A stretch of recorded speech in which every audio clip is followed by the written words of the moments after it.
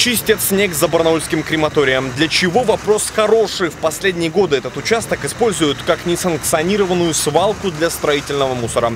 Чтобы решить этот вопрос, в общественной палате и собрались обсудить законодательную инициативу по регулированию обращения со строительными отходами.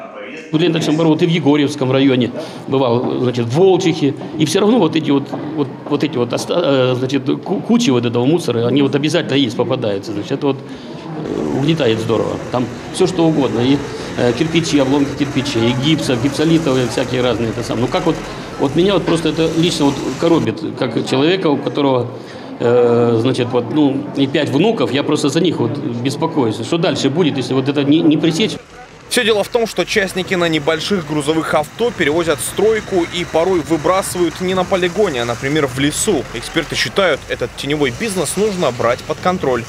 93-95 год была такая экологическая милиция. Вот я как бы вот конкретно видел эту работу, значит, и вот итоги ее конкретные были. В ту пору тогда, значит, вот и, значит, тех, кто вот именно, что около дома мусор или где-то, значит, просто за руку ловили и соответствующее наказание за этот счет было. Также эксперты уверены, что нужно вводить обязательное лицензирование деятельности по перемещению строительного мусора.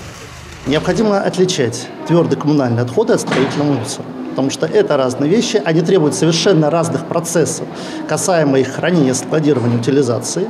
И когда мы определимся с терминологией, тогда уже можно определяться с процедурами, тогда уже можно определяться с операторами, ну и, наконец, давать площадки. Все это предстоит учесть экспертам при разработке правил обращения со строительными отходами в крае. Общественная палата уже работает над законодательной инициативой.